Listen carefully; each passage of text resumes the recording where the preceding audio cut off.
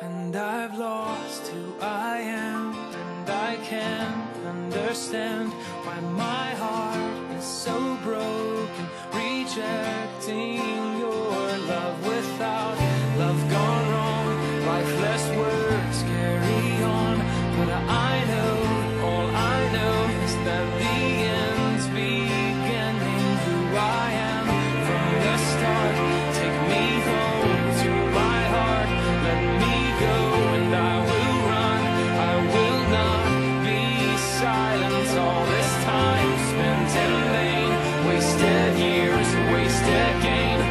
is more.